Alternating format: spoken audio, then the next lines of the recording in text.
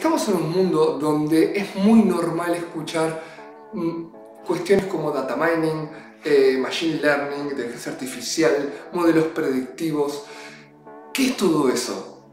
Básicamente es pasar de utilizar toda la información que vamos guardando y acumulando y generando para estudiarla y entender por qué pasó lo que pasó, que eso es el modelo analítico, y empezar a utilizarla para predecir qué es lo que va a pasar.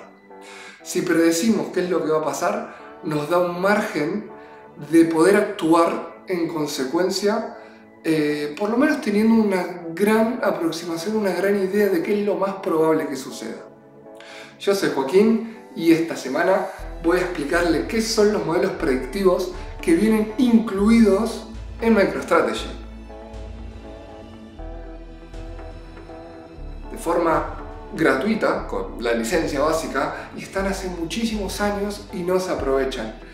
Empresas gastan un montón de dinero en data scientists y en equipos de gente que sepa usar modelos estadísticos, Python, R, cuando por ahí lo que necesitan ya lo tienen al alcance de la mano. Así que acompáñenme, les dejo el artículo acá en el link y la semana que viene vamos a estar jugando un poquitito y metiéndonos a crear nuestros propios modelos predictivos. Los espero, espero que disfruten el artículo y hasta la próxima semana. Chau chau.